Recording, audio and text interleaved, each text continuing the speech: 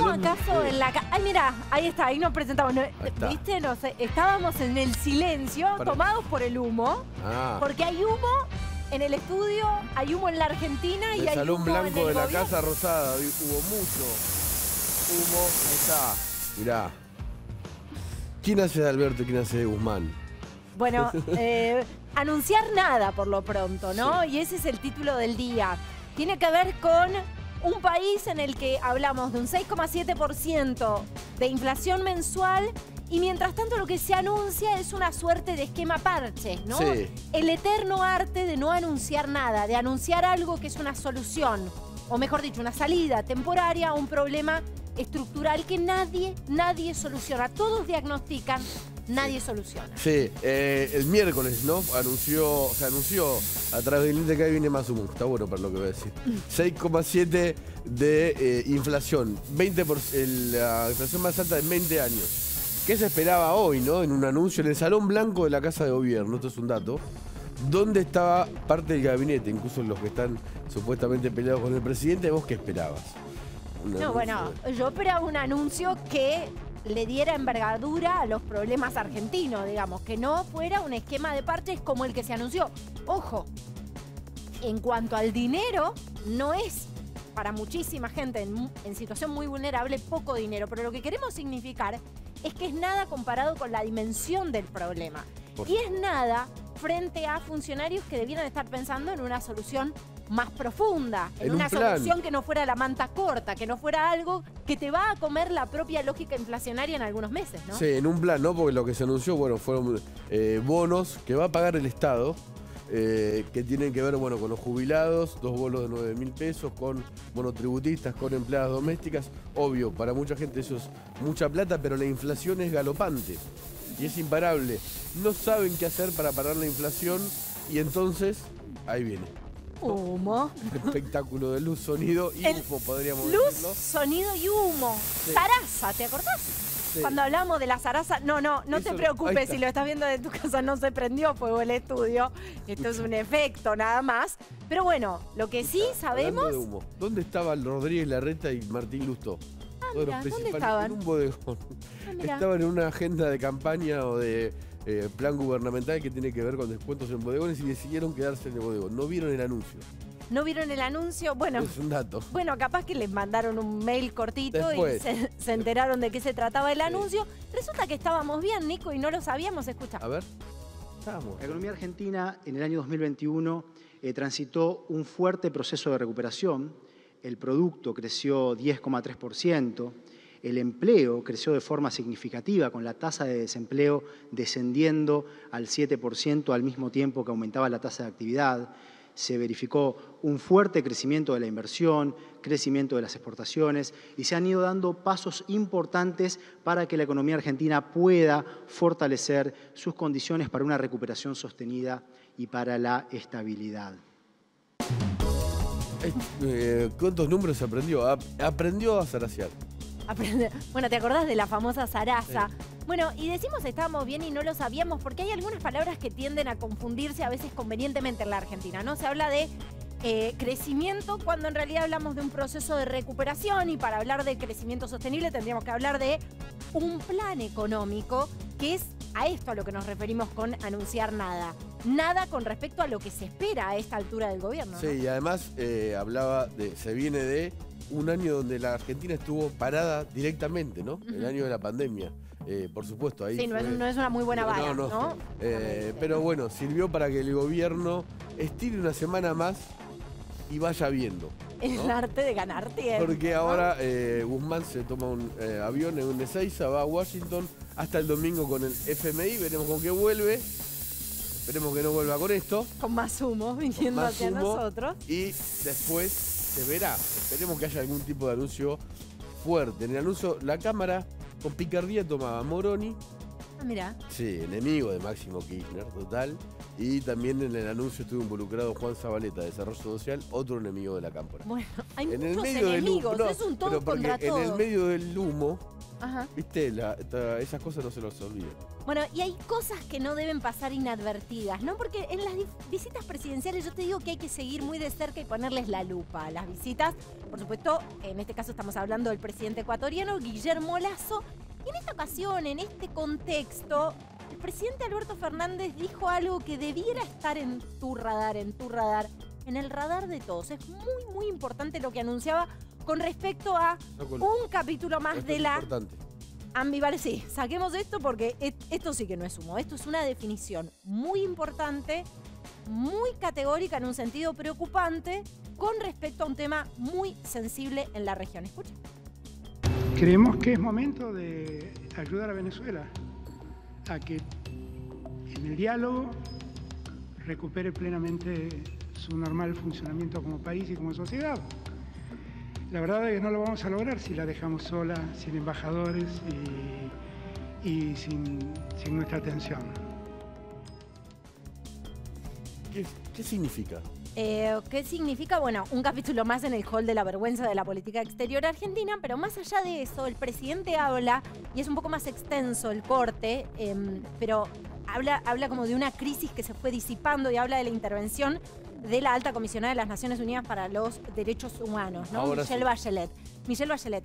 Pero además hay una Corte Penal Internacional que inicia una investigación formal por crímenes de lesa humanidad. No hay nada que se haya ido disipando, ¿sí? Y no utilizar las palabras que corresponden en cada caso es un rebusque bastante preocupante por parte de un presidente, un hombre que se dice un hombre del derecho cuando se está hablando de los más graves crímenes que se pueden cometer, ¿no? Que son delitos de lesa humanidad. En El este presidente de la nación, ¿no? y hay 6 millones de venezolanos empujados al exilio y se habla livianamente de que puedan volver a su patria. Bueno, viven bajo una dictadura, ¿no? Con D de déspota, con D de dinero sucio que vuelve a ese país para, entre comillas, reactivar la, la economía, con lo cual eh, realmente es preocupante, pero otro capítulo más Sorprendió el- para la el hall de la vergüenza, ¿no? más profesional.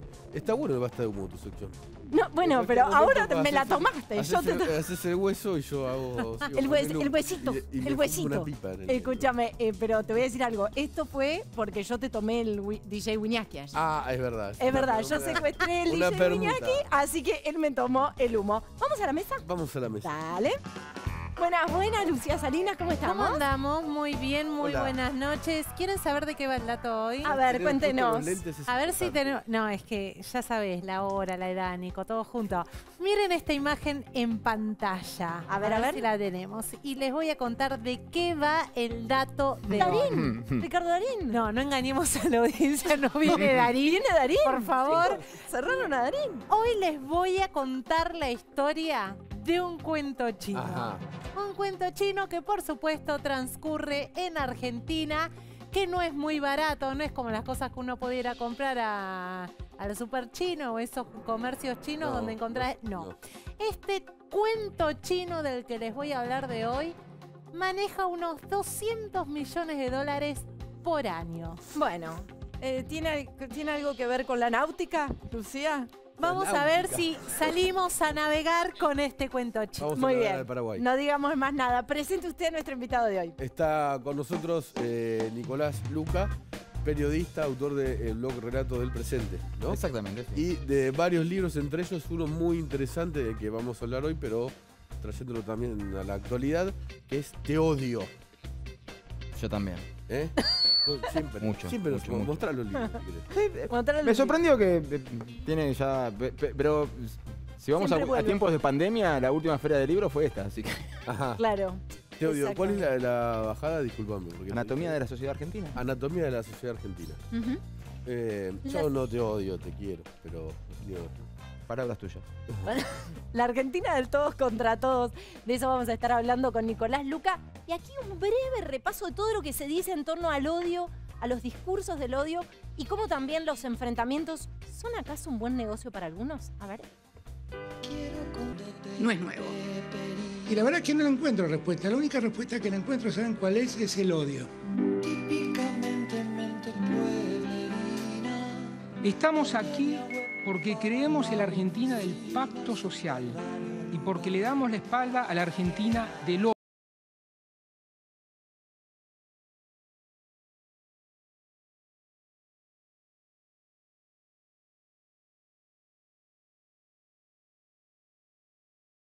Créanme que es mucho más saludable, ya que tanto se habla de la salud pública, no odiar. Producir desánimo, odio, convertir ese odio... ¿Por qué mamadera? No, porque hay una manipulación de las palabras tremenda. O sea, lo contrario al amor no es el odio, lo contrario al amor es el desamor, la indiferencia, por lo cual el odio y el amor no son eh, antónimos. Y uno no puede odiar lo que no conoce. Vos no podés odiar a quien no conoces. Vos temés al que no conoces. Le tenés miedo a lo desconocido. En todo caso, lo que esta gente debería decir es que hay un sector de la sociedad que les tiene miedo. Ajá. Les tiene miedo por lo que hacen, por la- el, el impacto que tiene cada una de las políticas que ellos tienen sobre nuestro día a día. Ya ni siquiera es eh, sobre nuestro, nuestra programación eh, de cómo voy a planificar de ahora el verano que viene, ni te cuento de, armar un plan hipotecario, sino de qué me espera mañana. Claro. O sea, irme a dormir y no saber cuál va a ser la noticia que me va a arruinar el día. Entonces eso no es odio, es miedo. ¿Y por qué usan la palabra odio? Porque garpa. Ajá. Garpa y, y- a ver, hay una cuestión que eh, tenés que irte a la, a- a la génesis del sustento filosófico de la construcción del kirchnerismo. La construcción del kirchnerismo filosóficamente se construyó sobre la CLO. Ujú. ¿sí? Y hay una cuestión que es dividir.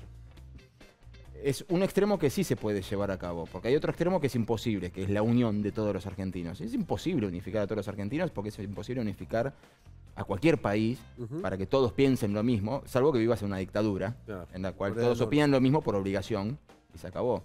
Pero sí hay un... eh, frente a ese extremo tenés un extremo que es posible, que es la división. Y para la división no hay nada mejor que crear enemigos donde no los haya. Hay un, ensayo de, de Humberto Eco que él expuso ante la Universidad de Bolonia, unos años antes de morir, en, el cual él contaba una anécdota que había, llegado a Nueva York y el taxista, un pakistaní, le pregunta, ¿de dónde viene? De Italia. Ah, ¿y cuáles son sus enemigos ancestrales? No, no, no tenemos. ¿Pero cómo que no tienen? No, no, no tenemos. Pero no, me refiero, y el tipo le insistía, me refiero a cuál es ese país al cual ustedes invaden primero, después los invaden ellos, después ustedes... No tenemos. De hecho, la última guerra la empezamos de un lado y la terminamos del otro.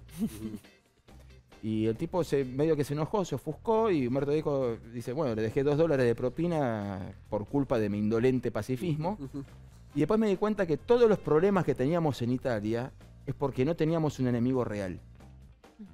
Entonces empezamos a buscar enemigos en otros lados. El que no piensa como yo, el que tiene otro proyecto de vida, el que no entiende lo que le estoy explicando, el que no entiende cómo funcionan las cosas, y después eso empezó a derivar en otras cosas. Eh, no hay trabajo. Y bueno, se nos llenó de senegaleses, ¿cómo no va a haber trabajo? O sea, ¿cómo no va a faltar trabajo?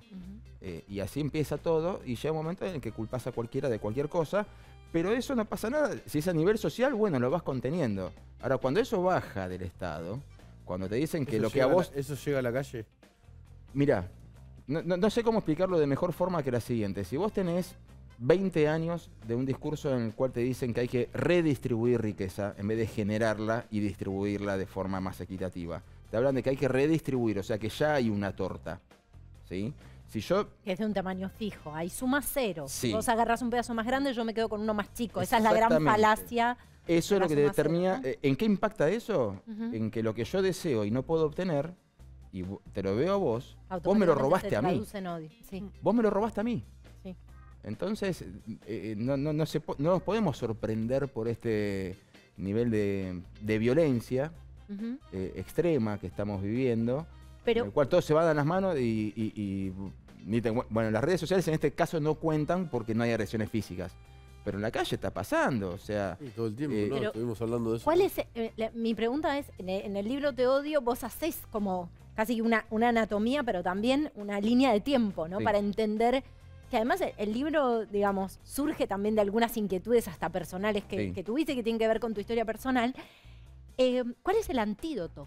Digo, ¿cómo zafamos de eso? Porque vos hablabas de los fundamentos filosóficos del kirchnerismo, pero si ven un documental, como por ejemplo conseguirme a Roger Stone, Get Me Roger Stone, que es uno de los artífices del fenómeno Donald Trump, básicamente dice alguna, y lo dice abiertamente, algunas de las mismas cosas, ¿no? Sobre el poder que tiene el odio como fuerza movilizadora.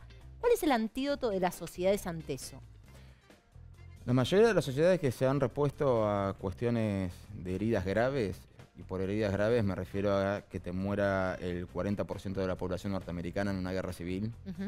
Eh, o al conflicto entre partisanos y, y fascistas en Italia, eh, norte y sur. eh, Alemania nazi. la, alema- la reconciliación de- entre la Alemania del oeste y la del este, la reconciliación de Alemania con Europa. eh, la mayoría de esos casos se ha dado con una cuestión educativa y una cuestión de, eh, de- de conocer al otro. De conocer al otro. Porque repito, vos no podés amar a quien no conoces, por ende, no podés odiar al que no conoces. ¿Cómo vas a odiar a alguien que no conoces? O sea, ¿qué te hizo? Pero Ah. hay también puntos que, eh, que impiden ciertos acercamientos. Eh, por ejemplo, si hay un límite moral, decís, o ético. Obviamente, hay límites morales que son subjetivos a cada una de las personas, hay límites éticos que son subjetivos a cada una de las personas, pero también hay cuestiones que tienen que ver con la generalidad. O sea, si. ¿Cómo voy a encontrar un punto de acuerdo con alguien que tiene una visión del país radicalmente distinta a la mía? Y no me refiero a un modelo productivo, no me refiero a un modelo de políticas sociales, sino me refiero a alguien que dice, mira, esta constitución no sirve, ya van dos veces que lo dice la vicepresidenta, Sí. eh, a pesar de que ella la firmó y ella la votó, esta no sirve. Eh, me refiero cuando vienen y te dicen, este sistema no sirve. ¿Cómo puedo encontrar un punto de encuentro con alguien que cree que este sistema que me garantiza poder decir lo que quiero, pagar las consecuencias si alguien se siente ofendido, poder decir lo que quiero y reclamar mi de- mis derechos frente a otra persona que me dice, no, este sistema no funciona, esto no, no, no es así. Pero ahí, uno tra- tratando de hacer una mirada retrospectiva, uno lo que ve es que no es patrimonio de un, de un solo espacio, ¿no? No. Que finalmente esta suerte de cultura del odio es una cosa que se viene alimentando, se viene utilizando. Y, y también lo que me pregunto es cuánto incide en el tejido social las frustraciones, el no poder proyectar, el no poder avanzar, el sentir que los espacios que nos igualaban, que nos generaban oportunidades, ya no son tales. Eh, entonces, la pregunta es, digo, ¿cuántos años llevamos de esto? Después habrá desde la Amén. dirigencia política quienes lo utilicen más, menos, quienes vean allí un camino o no. Digo, pero me parece que hay como una historia mucho más larga quizás sobre sí, esto. Y, y también hay una, una cuestión de deseo y de la, la degradación del poder adquisitivo. Eh, hay un cálculo que te muestra que después de cada crisis terminal económica, Sí. se suma un ladrillo más a la pared del piso de pobreza. Desde la crisis de, eh, teníamos 5% de pobreza y de la crisis del 82 pasamos a Sí, no son- 20, pero no volvimos al Claro. 5, volvimos a un Sí. 8, 9. Ujú. De la hiperinflación del 89 llegamos a un 40 y Mm. pico, no vol- a un 50 y pico, no volvimos al 9 ni al 5. Y vas Quedamos en un acumulando 30. eso. Y vas acumulando, y en 2000 acumulando. En 2001, ¿no? No Y es esa una gente anécdota, consume- ¿no? Cambian los presidentes, pasa esto, no. Pero, esas, pero esas personas consumen las mismas publicidades que nosotros. Y las publicidades son deseos. Y la misma, eh, el discurso político, ¿no? Pueden no consumir el mismo discurso político que el nuestro. No, no, digo, cuando la presidenta en cadena nacional, ¿no? Sí. Usa este artilugio. Nada más como siempre es el otro, el otro Yo no. claro. O sea, yo que valgo tres palos Claro, en esta vestimenta, amor. no. Los demás, El, el- el campo odia, sí. o Eh, la justicia odia. A ver, vos no podés. Me parece un capricho. Realmente me parece una actitud absolutamente caprichosa en una criatura. Sería una actitud caprichosa. Que si vos le decís que no puede hacer algo con un buen motivo de por qué no puede hacer algo, esa persona te diga, no me querés, te odio. eh, cosas de nenes o de adolescentes tempranos. Ahora, que lo diga gente con 40 años de carrera política, no es inocente. No, claro. No es No. Además, Pero- la pre- pero en la- algún- es novedoso, en, en- algún- en un momento fue novedoso. En cualquier caso, me parece, y para establecer este puente entre lo que sucede o lo que permea la sociedad civil y lo que pasa con la clase política, me parece que hay un denominador común en ambos planos, que es la ausencia de proyecto. Sí. Porque cuanto más escuchamos de esta retórica, además con palabras tan fuertes, con todo el significado que tiene para las generaciones que nos antecedieron a hablar de algunas de estas cuestiones, cuando hay tanta retórica, generalmente es inversamente proporcional al contenido de un proyecto político, Sí. en cuanto al, al proyecto de futuro que ofrece. Sí. Y generalmente en las sociedades también es directamente proporcional el nivel de violencia a la perspectiva de, de futuro, inversamente proporcional, ¿no? Yo creo que si hacemos una encuesta entre los que estamos acá, en el estudio, detrás de cámara y acá, y preguntamos si conocemos cuál es la plataforma política de a quién metimos en la urna en las últimas elecciones, no lo sabemos. Y si les pregunto a ustedes, yo no recuerdo quién era el quinto diputado de la lista que metí en, en la urna en, en las últimas elecciones. O sea, hay un sistema... Yo no sé si la Argentina en el 94 estaba para darse el lujo de pasar a elecciones cada dos años. Pero pensá, eh, es Porque vivimos vos- en elecciones, vivimos en clima electoral. Sí, pero vos marcás el 94 porque ahí se reforma la Constitución. Sí. Eh, pensar, es cierto, ¿no? Eh, tal vez haya sido un error. No sé Probablemente. si fue un error. No sé si estábamos en condiciones de, de avanzada eh, civil, eh, tan cerca de tantos años de dictadura como para decir, no, sí, no podemos dar el lujo de votar cada dos Claro. años una composición. Pero pensé esto, en el 94 el oficialismo y la oposición, más allá de los motivos, se juntaron para hacer una constitución. Mala, buena. Reformaron la constitución juntos. Imagínalo hoy. Decir eh, que Cristina... Bueno, Ese es el, el mayor problema. O sea, yo, o sea, yo- es- es- eh, cambió mucho, muy rápido, ¿no? en lo particular hay un montón de cosas que me parecen eh, nefastas de la constitución del Sí, 94. más allá del contenido, digo, el hecho. Pero me- así todo digo, déjenla como está. Primero empiezan a aplicarla, porque tampoco le dimos ni media chance. Sí. No le dimos ni media chance. No, No, pero tenemos digo, consejo de la magistratura como le dice la Constitución. No tenemos la ley de coparticipación. Pasaron 27, 28 años y seguimos sin...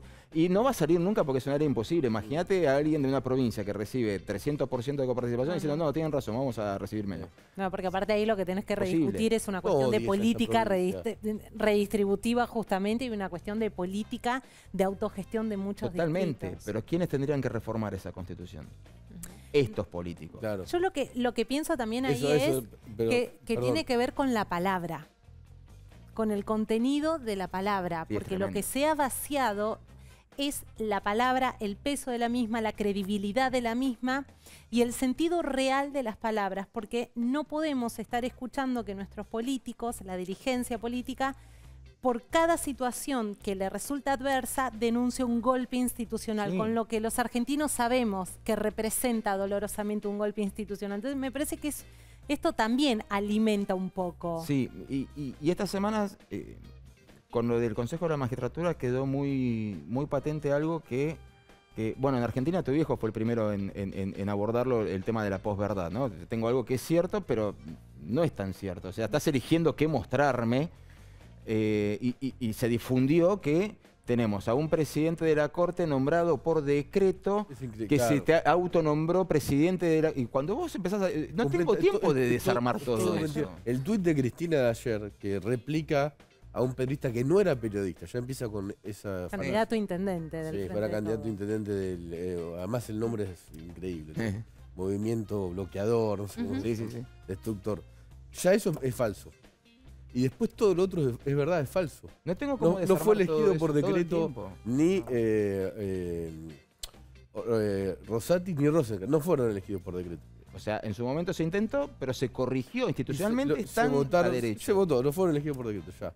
Después que se autoeligieron y que esto va a y aparte de, hacerse, qué. de mirar para otro lado con el tema de que los otros dos miembros de la Corte son dos miembros de aquella histórica Corte que ella tanto reivindica, que son Lorenzetti y Maqueda, y a los dos los votó ella cuando siendo senadora. Vale, sí, Maqueda era compañero. de Esa, esa es otra, ¿no? Siempre hay un enemigo elegido Claro. y siempre todo al revés. Es el arte de darte la vuelta totalmente que digo, ¿qué alienación genera en quién es ese otro? ¿Quién es señalado como ese odiador, ¿no? O ese núcleo odiador. Porque vos cuestionás y te tiran, bueno, el periodismo independiente y en definitiva es todo un juego de, de artificio, de cotillón, para que termines no hablando del guiño mayúsculo que le acaban de dar a un represor como Maduro en el día Sí. de hoy, ¿no? Sí, sí, y O sea- que es una sucesión. El otro día estábamos todos hablando de que Cristina le tiró un dardo a Alberto Fernández en la Eurolat y na- nadie habló de que pidió nuevamente reformar la Constitución. Sí, O sea, es exacto. todo tan eh, grotesco que llega un momento que, a ver, así como dije recién, que nos levantamos todas las mañanas y no sabemos, bueno, a ver con qué noticia me van a arruinar el día, también es cierto que eh, te tiran tantas cosas que no sabes eh, Esa- por dónde Uno comenzar tiene a la decir, sensación "Che, de me es- estoy es comiendo así". todas las curvas. Eso es Tenés a- la sensación. Eso es adrede, ¿no? Eso lo- Néstor Kirchner cuando se levantaba Mm. con Zanini decía, bueno, ¿cómo pasamos el día? Claro. Entonces inventaban, además de lo que iban a hacer, eh, esto, un globo de ensayo para que se discuta algo que eh, era el día a día. Por eso me acuerdo de Luca Carraco que tenía un blog que decía, para el kirchnerismo largo plazo es el fin de semana. Sí. el próximo fin de semana. Y efectivamente iban pasando el día así, ¿no? Te llevaban una discusión mientras ellos hacían... no sé, Otras cosas. Visitaba Centeno, la Quinto Olivo, ponele. Sí, igual hay algo que es que nos pasa que nos, acostumbramos al mundo de lo inverosímil y de Sí. lo y de una inmoralidad. Eso es de una inmoralidad. Perdón, pero hay, hay que decirlo así, ¿no? Pero Sí, pero- digo, sin eh, porque porque ante lo indignante como que no te queda otra cosa que, que No caer en ese lugar. pará, no odies. No, no, pero Ponele digo, más amor. a- decir cómo, cómo pasamos el día, a ver cómo caminamos por ese, cómo hacemos malabares para que no se note que no podemos ofrecer una sola salida para dar perspectiva de Sí, futuro. ahora te dicen de, de- de- de- de las ganancias imprevistas. O sea, ¿qué es una ganancia prevista? O sea, no- Eh, mil Hoy me encontré Las ganancias en la inesperadas. Me, sí, esperé- sí. me encontré 10 pesos en la calle y tengo que declararlo ante la Cuidado con la gente que ganó el quinio que va a ganar. la Bueno, lotería, pobre porque- gente. Sí. Pero, pero sí, es tremendo. Y, y- y aparte gente que creo que sintoniza eh, otra frecuencia a la nuestra, ¿no? Porque, está bien, vos ya te, vos ya te divertís, pones hola a la mañana y esperás. a- yo ¿Viste? creo que desayunás riéndote Mira, a ver Para gente Nico te estuvo en la promo de Te ¿viste? Odio, ¿no? Vos estuviste en la, pre- Sí, en obvio. una Sí, pieza promocional. Pero está bueno. Yo siempre se lo. Es más, lo hice el otro día. Yo cuando- estoy en Twitter hace, desde el 2012. Un día se me ocurrió. Cada vez que entro pongo hola. Descubrí que es eh, el mayor tweet que puedo poner con. que va a tener más interacciones. Si fue un año que te quisieron mucho del otro lado. Claro, te puedo leer. Hay 500, no sé cuántos que me dicen hola, no sé qué. Y Sí. otros que me dicen, te vamos a asesinar, gordo judío. De verdad, te lo puedo mostrar. El otro día lo hice eh, y al final no lo mostré. Es muy bueno que vos te hayas dado cuenta. Sí, sí, sí. no. Eh, Mira, eh, una vez, eh, esto lo planteo de que pero no por mí, digo, porque también vos en las redes sociales sufriste mucho. O, Cuando te digo que sintoniza en otra frecuencia, me refiero a que un ataque al azar yo decidí anotarlo, ¿no? Y empecé a, con el analytics de, de Twitter, empecé a, a sacar la cuenta de cuánta gente me estaba insultando. Y llegó un momento que frené la cuenta en 31.311. Lo frené ahí porque me, pare- me causó simpati- eh, simpatía el nombre, el, el- el número, número. ¿no? 31.311. Eh, el intendente de Chivilcoy había ganado por 30.000 votos. ajá, O sea, y- y- eh, presentate. no, pero me- a- a- Pero ¿cuánto en las redes es ficticio también? No, ¿Cuánto en pero las ay, sea redes? ficticio. Te terminás dando cuenta. Sin, sin minimizarlo, lo que digo es, Jamás atacaría las redes. A lo que planteo, lo que planteo es que alguien por ahí antes pensaba que eh, yo era un idiota, por decir lo que estoy diciendo ahora al aire, eh, y lo veía desde su casa en, en Belgrano y yo no me enteraba. Y ahora viene y dice, vamos a darle. ¿Entendés? Y a nosotros nos Y afecta. podía pasar. Y a, noso- a mí por lo menos me afecta, me, me- me- me hace daño. No puedo por eso digo que sintonizan otra frecuencia. Si vos te enterás que tenés un 65%, 65% de imagen negativa, en la Argentina sacando la cuenta a ojo de buen cubero, si somos 46.3, serán 29.9 millones de habitantes que te odian. Sí, ¿Cómo haces para seguir con tu vida en el día a día, No sonreír, decir, ay, no, Nico". pa, pa, pa? No siguen, Cristina Kirchner no camina sin nada, no va a hacer una compra, nada de hace 40, 40 años.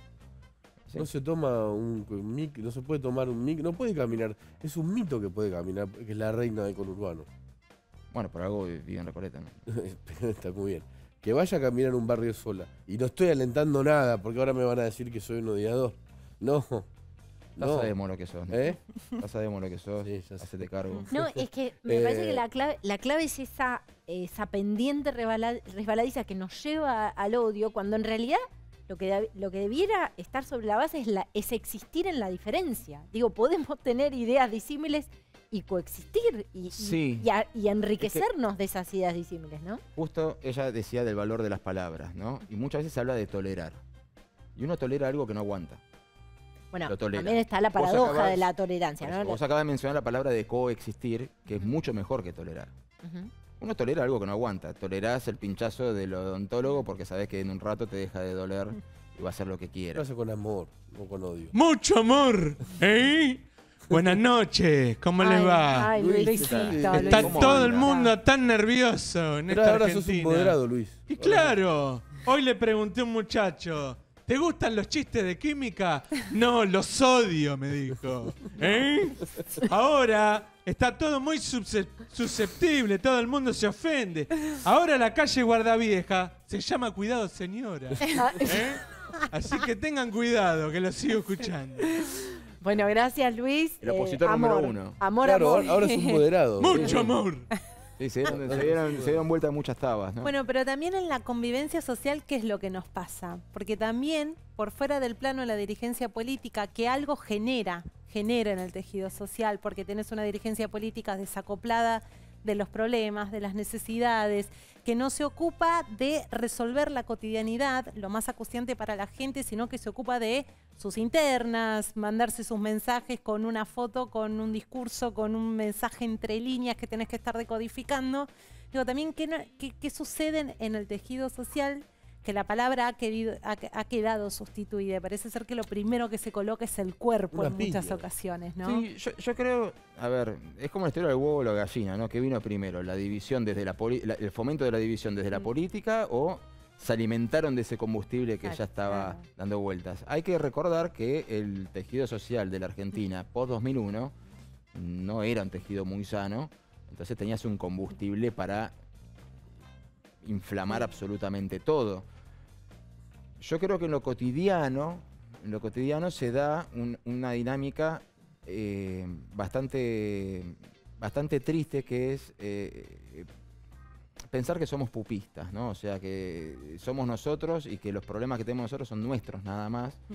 y que me encuentro con vos eh, en el ascensor. Por ahí te digo buen día, vos no me contestás y ya empiezo, escúchame, maleducada, ¿cómo no me contestás? Y vos por ahí no me contestaste porque estabas con un montón de problemas en la cabeza y no entendemos que el resto del mundo funciona igual que nosotros. O sea, cada uno está en, en- en- en su mundo y venimos de dos años de mierda, Sí. en los cuales... eh, eh, ¿Vos decís que ver. ahí se alimentó todo esto? ¿Cómo?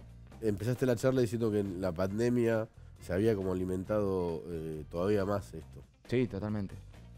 Bueno, dejamos de, convivir socialmente en los espacios públicos. Eso Dejaste también nos daña un poco. dejaste de, de- de- de estar con otras personas, eh, está bien, por cuestiones obvias, por cuestiones lógicas, pero eh, perdiste lo, lo- lo- lo más humano, que es el, el trato cercano, el, el tocar a alguien, eh, el, sa- el saludo, el abrazo, El amor. con, las con los seres queridos. Eh, eh, se perdió todo eso mientras veías cómo hacías para sobrevivir a la pandemia y no solamente por el virus, sino porque te estabas destrozando. Y mientras te, había sectores que querían vender un estado policíaco como un buen estado de las cosas, ¿no? Que, que- Sí. que también era- Acusándonos entre nosotros. Yo, yo pensaba, ¿sabes qué? Que todos los grandes, las grandes catástrofes de odio colectivo tienen sobre la base la construcción de una mitología, ¿no? De un- Sí. voy, voy a usar una mitología o, o una sarta de mentiras, digamos, para decirlo en términos claros. Como por ejemplo, como por ejemplo la falacia de la suma cero. Yo quiero Sí. volver a ese punto porque es, profundamente argentino. Hay una torta que es de un mismo tamaño, el Ah, tamaño es inalterable. Esa es la primera falacia, que el tamaño es inalterable, no mentira. Hay países que agrandan la torta. Y que en tanto Nicolás agarre, o cualquiera de los Nicolás, o Lucía Salinas, agarre un pedazo, pero Lucía es muy solidaria, agarre un pedazo más grande, yo me quedo con un pedazo más chico. Y eso es la manera en la que se justifica, primero, la exacción, el manotazo de parte de la clase política, y en segundo lugar, el direccionamiento del odio o de la frustración hacia un sector específico de la sociedad. Me parece que ahí hay una base para desarticular de- una mitología que ha durado muchas Bueno, décadas. la, la- Argentina. la- la Argentina es un país que está lleno de cuestiones mitológicas eh, casi fundacionales, ¿no? Eh, de, sobre- de que quiénes nos dieron derechos, quiénes no nos dieron derechos, Sí. quiénes nos quitaron derechos, quiénes estuvieron con los golpes, quiénes no estuvieron con los golpes. O sea, está lleno de mitología. Eh, pero hay un- una cuestión que ya es directamente de estúpidos, ¿sí? Eh, pegarle un tiro en los pies a la única fuente de ingresos genuinos que tenés en miles de millones de dólares es ser tarado directamente. Con todo respeto, de- de- perdónenme por el- el- el- la No, poca discreción periodística, No, pero no, hay que ser estúpido, o sea... Es como eh, que te vengan a traer plata a tu casa y les pegues un sopapo porque no te trajo más. Vos decís por el campo.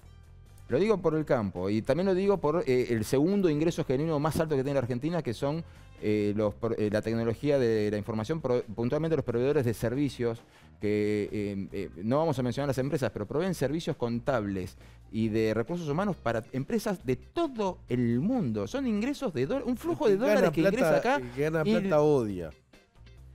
Ese es el problema. Y, y es un problema de- bastante tarado, ¿no? Porque vos necesitas de esa plata. O sea, vos sos el Estado, necesitas de esa plata. Ahora estamos discutiendo todavía si la emisión genera inflación o no. O sea, falta que nos pongamos a discutir si la gravedad es una aceleración de 9,8 metros por segundo. O sea, no... Y estamos discutiendo todo el tiempo, y no, y- y impriman más dinero. Ah, Estados Unidos puede imprimir y no le pasa nada. ¿Cómo que no le pasa nada? 8% de inflación. ¿Cómo que no pasa? O sea, eh, eh, pero es absolutamente eh, vinculante. Yo hago esto, pasa esto.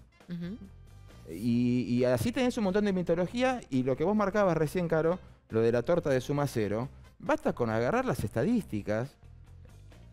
No, no puedo creer que haya tantos pobres en el mundo. Sí, es verdad, hay un montón de pobres en el mundo, pero si vas a la proporcionalidad de 1850 para acá, estamos en la época con menor pobres de la historia de la humanidad en proporción. ¿Por qué? Porque en 1850 eran mil millones de habitantes en el mundo, 900 millones eran pobres. Hoy somos 7.700 millones de habitantes del mundo aproximadamente, estimativamente. Tener 700 millones, 800 millones de pobres es una bestialidad, es inhumano, lo es. Pero la proporción habla por sí sola.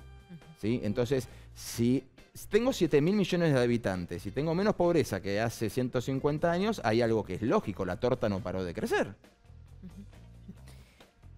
Bueno, Nicolás Luca y su libro Te odio, que por supuesto se puede conseguir. Muchísimas gracias por estar con nosotros. Muchas gracias por la invitación. Te quiero. Gracias, Nico. Yo también. Enseguida tenemos datinas, el dato de Lucía Salinas, ¿no? Ya les dije, viene de cuento chino hoy. Sí. Hoy viene de cuento chino. Uy, está haciendo chistes muy malos. Bueno, viene el cuento chino y por supuesto también tenemos DJ Wiñaski para el final, por supuesto. Ahí está, Nachito. vinculado al. Me- esta- ¿Va a estar vinculado a lo de Nico? Mira, los dos Nicos están en sintonía. Y también las cosas que suceden solo en Argentina. Argentina. Ahí va, pausita, ya venimos.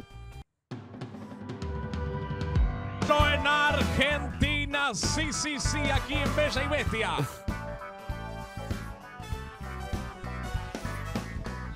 Si falta presupuesto, que no se note. Que Rosario es una ciudad muy golpeada por la inseguridad, lo sabemos todos. Lo que seguro no se imaginaba este taxista es que después de ir a denunciar un robo a la comisaría, iba a tener que ser él mismo el que llevara a los policías en su auto para perseguir al ladrón, ya que en el lugar faltaban patrulleros. Así, con la venia de la ley, para ir pisteando como un campeón, el conductor logró alcanzar al delincuente, los policías lo redujeron y el buen hombre recuperó lo que le habían robado.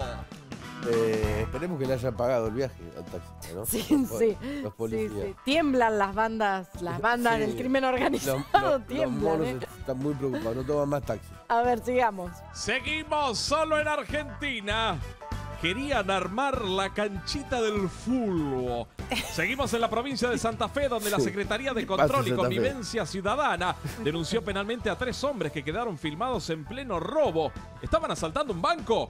¿Eran arrebatadores, pungas, carteristas? ¡No! Nada de eso. Se estaban afanando un par de panes de pasto no, del chicos, predio. no, no, Del no. predio El Alero en el norte de la ciudad. No, chicos, pero además si los reyes pasan en enero, ¿para qué el pasto? Eh, En enero se paran todo eso. Si era para... Olvídate, en enero no queda nada. A ver, vamos. Seguimos. Un mensaje. Un mensaje contundente. Una vecina de Villa Crespo se hartó de un vendedor que suele pasearse por el barrio los fines de semana al grito de Compro todo, señora. Amplificado con un contundente megáfono antisiesta. Sin vueltas, la mujer decidió colgar un pasacalles que no pasó inadvertido, ¿eh? Señor, compro todo. No grite, baje el volumen. La señora. Por supuesto, el mensaje se viralizó y en Twitter no tardó en llegar el ¿Qué apoyo masivo para la moción de la señora. Está bien el mensaje. Eh, me pusieron en el Zoom porque toda esta gente eh, ya sabe que yo sé hacer una pequeña gracia. A ver, Eh, beso, rapa, por la... Imito al señor. Ay, botella. No, no, no puede ser que ¿Me haya sale bien, Nacho? muy bien. Excelente. Aprobado. Señora, no le compro a su marido. Nico Chao. Wiñaski en vivo. Bueno. Fue un placer acompañarlos hasta acá. Barras. Gracias. Bueno, no sé cómo seguir. Un mensaje contundente. Muy bueno el graf.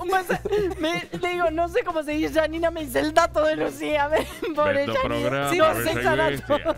No. Nos echan a todos. Porque yo estoy en total compostura. No, verdad. no, no, Lucía que entra en plano y Nacho Julián también. Nacho Julián en plano. Vendo programa de en vivo, bella y bestia. Lucía, salí. Bueno, basta, basta, basta. No, no divertimos así. Barato, lo que no ha sido barato Es este cuento chino y este es el dato de Lucía. Vamos. diversión e información. Cuento chino para el dato de hoy, señoras y señores, porque en Argentina pasa de todo y también tenemos un buen cuento chino para contarles hoy. Les traje mm, algo de utilería que los voy a compartir con ustedes con No, algunos números. Mira, Caro, toma, este que dice 80% es para vos. Tu barco, ¿sabes Es, qué? pe- es como de pequeño porte esta Bueno, embarcación. Es pero- para, para el Delta, una lanchita. Ese, barco Monte Carlo. traslada todas las exportaciones agropecuarias. Ah, Mirá bueno, cómo te lo digo. no, sí. Mirá, Ah. mirá cómo aprendí. Este que tiene 91%, A ver. Nico, Gran toma, maestra. para vos, Nico. Para Buñaski. Dígamelo, Este 91% que pues, tiene si esta ya Nico me- ¿Cómo 91? traslada contenedores. Ah. O sea, 91% de los contenedores se trasladan en el barco que tiene Nico. Sí. ¿Hay alguno para mí? Hay otro que traslada el 99% de toda la carga automotriz del país. También te lo doy, Caro, si querés. Sí, porque como- me gustó, lo comparto con Matías Antico. Y eh. ¿vieron el famoso GNL, el gas eh, Oh. natural licuado? El 60% entra en este barquito a nuestro país. Van navegando. Todo esto navega, por supuesto, Sí, obviamente, navegan, navegan, por algo que se llama vía nave- navegable troncal. Hablamos de la hidrovía. Se conoce como la hidrovía porque fue la empresa que la administró, la explotó durante tantísimos años. Ahora hay que licitar nuevamente. El Paraná. Fíjense todos esos barcos si no son importantes, porque esta hidrovía lo que maneja son 200 millones de dólares por año y el gobierno argentino cobra peaje por cada uno de esos barcos y esto Pea- también para que yo tengo acá. peajes oficiales. Exactamente. como en la autopista el barco Exactamente. Pasa, pasa. No, peaje. después están los otros peajes. No, no, porque si yo estoy hablando del Estado, yo doy por sentado que son peajes oficiales. No, y si pasan lo del narcotráfico, ¿cómo? ¿Qué pasa? ¿Y por qué estamos hablando hoy de un cuento chino en la hidrovía? Porque hubo una licitación en febrero que quedó un solo oferente, que era una empresa belga, Ya y esa licitación se dio de baja. El gobierno dijo, no, me- mejor la volvemos a hacer porque hay que ver mejor los valores, hay que hacer mejor el proceso. En el medio, como todo lo que ocurre en estos casos que manejan mucho dinero, causa judicial, sospechas de corrupción, aunque ustedes no lo puedan creer, irregularidades en la licitación y en el medio llegó una carta. Sí. Ay, no. Esto una no carta. Más carta, más intercambio epistolar. Para La- yo me la hidrovía es un negocio hotel. realmente sí, monumental raro. y para parte del kirchnerismo, porque la cámpora entró ahí, es entregar la soberanía Claro, porque es la eh, principal acuífera. red navegable. Lo que se tiene que discutir es algo que se llama el dragado. Es decir, Sí. cómo hacer que esta vía sea navegable para que todos esos barcos Si que no, tienen barcos, Nico y Caro los barcos vienen así y se encallan. Imagínense que por Vienen ahí pasa el grano, ¿no? Se encallan. Entra eh, em, empresa automotriz, entran los buques de GNL. Miren si no es importante. Caro, no te quedes con todo. No, pero yo me quedé con la caja porque yo voy a resguardar la soberanía. Bueno, vos resguarda la lo- soberanía. Lo que sucedió ¿Por es que llegó ¿Por qué una carta, chino? una carta de la empresa china, la empresa china que en febrero quedó afuera de la licitación. Mm. Una carta muy enojó. interesante a través del embajador en China, Sabino eh, Narvaja, que se le envía ¿Él la a firmó? No, se le envía a la empresa a Camilo a Sabino. a Sabino y Sabino se la remite a las autoridades cuñado argentinas. de Máximo Kirchner. Donde hay dos puntos que yo les quiero contar de esa Sí. carta. Para el embajador eh, traslada la carta de una empresa Claro, privada. de una empresa privada china al gobierno nacional, que tiene que en esta semana relanzar la licitación. Hicimos los barquitos con la carta, te lo pido por favor que no, me muero. Eh, no, acá, acá, acá hay parte de la carta. a ver, Dice que hay que profundizar la cooperación bueno. porque Alberto Fernández va a visitar China en breve Así es. Y que va a ir al, va a ir el presidente. Pero claro. Ah, Como ya bueno. fue, ya fue, ya fue. Y que la hidrovía es un proyecto de total prioridad para el gobierno argentino y que a China le interesa mucho. Sin vueltas, sin vueltas. Y acá viene el punto interesante. Miren lo que le dice la empresa china al gobierno de Alberto Fernández. Usted tiene que ahorrar en divisas. Porque el gobierno argentino tiene un déficit de escasas reservas de divisas.